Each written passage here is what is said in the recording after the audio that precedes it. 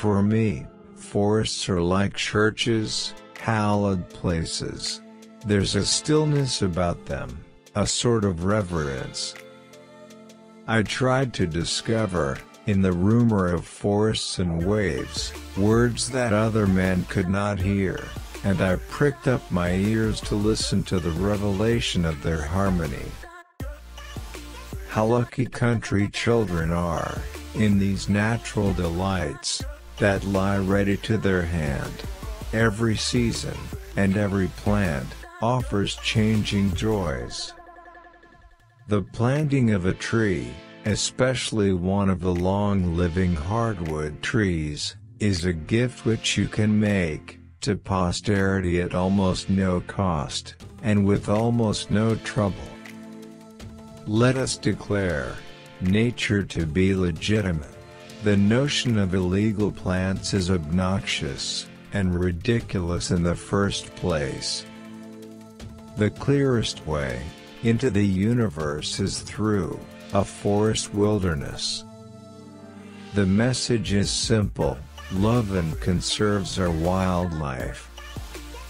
There's no point bleeding about the future of pandas polar bears, and tigers, when we're not addressing the one single factor that's putting more pressure on the ecosystem than any other, namely the ever-increasing size of the world's population.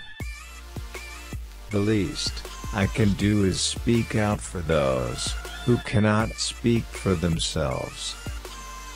If we kill off the wild, then we are killing a part of our souls. The wildlife and its habitat cannot speak, so we must and we will.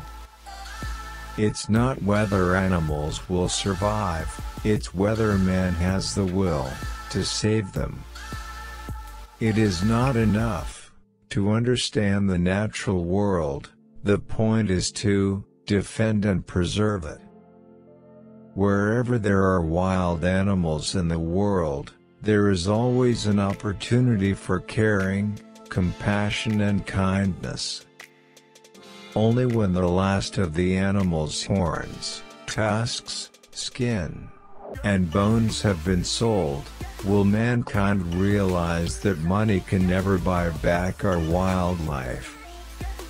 Never apologize for being oversensitive and emotional when defending the welfare of wildlife. If we can teach people about wildlife, they will be touched. Share my wildlife with me. Because humans want to save things that they love.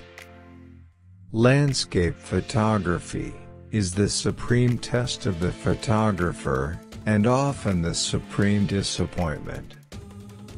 Actually, it's nature itself that creates the most beautiful pictures, I'm only choosing the perspective. There is no question that photography has played a major role in the environmental movement. To photograph is to hold one's breath, when all faculties converge, to capture fleeting reality. Climb up on some hill at sunrise.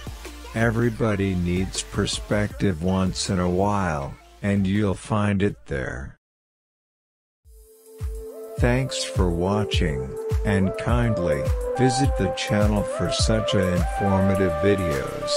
Also, don't forget to like share and subscribe to the channel.